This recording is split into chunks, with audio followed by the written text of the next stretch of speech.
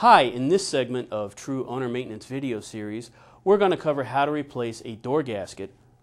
You're going to need a piece of paper and a pencil to outline the gasket on the door, so let's go ahead and do that.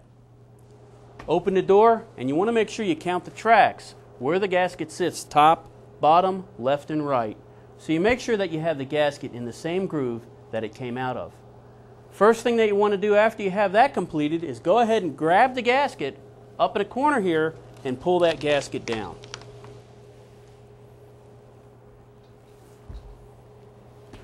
Now to reinstall the gasket you want to make sure that you put the gasket in the same groove that you took it out, start up in a corner and go ahead and push that gasket in.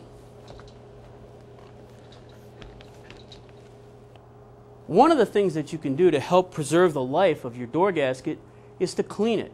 You're going to need some mild hand soap, hot water, and a firm nylon brush. You want to clean the inside of the track as well as the outside of the track to make sure that you get all the sediment and debris that's in this gasket out of there. That'll help prolong the life of the door gasket and make sure it has a proper seal.